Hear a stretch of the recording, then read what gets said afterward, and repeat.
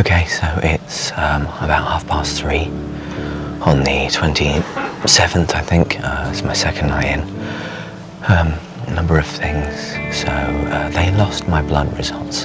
Excuse me, my blood, um, my blood tests, which meant that uh, they had to wake me up about uh, 10 to 1 to um, have a new one done, which was very unfortunate, obviously, because um, they made the error with the Hickman line. It means there were no ports, left no lumens, so um, they had to do a needle stick. What happened was they completely lost my blood tests, like just disappeared off the face of the planet. So they had to do them again, and that involved waking me up after I'd struggled to get to sleep because of the hiccups.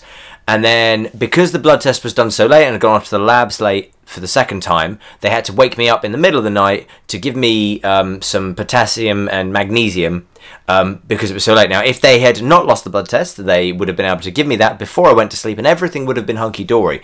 Um, so a lot of the um, the stress from that night was caused by the fact they lost the blood test. And uh, being woken up at 10 to 1 after you've struggled to get to sleep because of hiccups for an hour um, wasn't really great.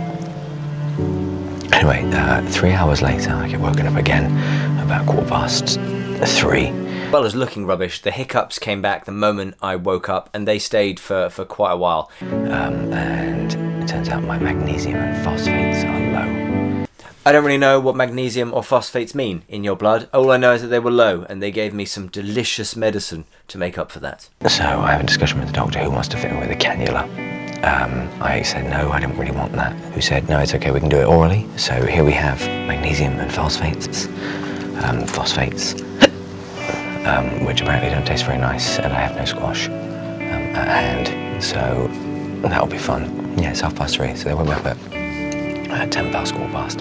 So we're gonna, gonna do this, and then try and go back to sleep. They'll wake me up again in like three hours, I'm sure, to do the steroids around six o'clock again. It's kind of unfortunate because the uh, gentleman Brian is uh, a heavy snorer. God bless Brian. He was uh, a nice older gentleman, um, very pleasant, um, very sweet, but um, by shit, he snored um, generally in the middle of the night. And then it, he didn't just didn't just snore, didn't just snore. That would be too easy. He um, also uh, talked in his sleep and had like sort of night terrors. So on that particular evening, he um, I think he was talking about a dog. He was warning somebody that if they came near him, his uh, his Alsatian was going to attack him.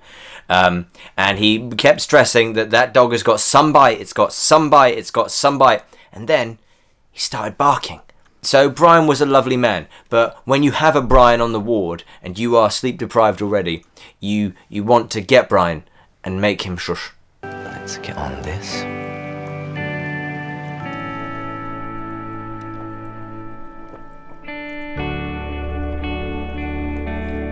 It tastes like oh oh oh.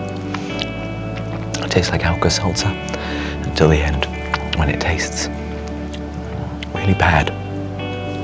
I mean, yeah, it's really bad. It's 3:30 a.m. My vocabulary was suffering a little bit. Um, to clarify, it tasted very bad. It tasted like balls, like actual balls. So um, big, fizzy Alka-Seltzer testicles. Okay, the next one.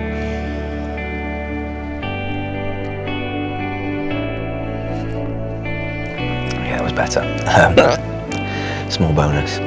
Um, usually drinking in the night, I think I'll go have another wee, but I don't. I don't. Plus five points for the catheter, no getting up for wee. Uh, disadvantage though, when you move, it feels like somebody's trying to tug out the inner lining of your penis. Anyway, I'm gonna try and go back to sleep now, and you'll uh, be back in the morning to complain about not sleeping. Nobody likes sleep deprivation generally. Even normally healthy people feel much worse or in a much worse mood, I think by like 30% or something, if they've not slept the night before. Uh, if you have prolonged periods of bad sleep, it also makes you more likely to catch colds and catch illnesses and that kind of stuff. So it's a big deal. And those with MS suffer worse. I think 50% or thereabouts of people with MS have uh, disrupted sleep or they have difficulty getting to sleep or staying asleep, something like that.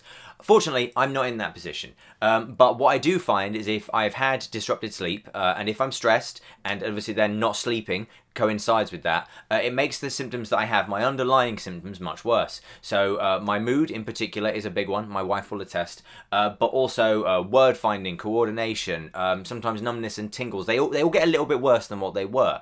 So this particular period could be quite difficult while people are in hospital. Uh, fortunately, it does get better. Um, you know, when you go into your isolation room, things things generally improve. But if you spend a prolonged period on that bay, or if you tend not to sleep well while you're in hospital, or if, unlike me, when I sleep like a brick in the isolation room, it it will be much worse. It's not something that um, it's not something that probably people account for, but something they should be aware of. Um, but they are giving me some frusemide to, to get it out, so uh, lots of very full catheter bags. But uh, feeling much better than I did this morning, so um, all is good. We'll wait and see how things go tonight. But uh, yeah, day two, nearly done.